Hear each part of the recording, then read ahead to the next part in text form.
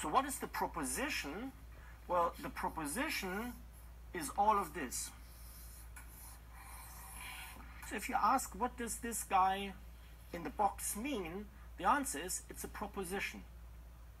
It's a proposition that has been constructed from a predicate of one variable, and we may read it, and that's the proposition.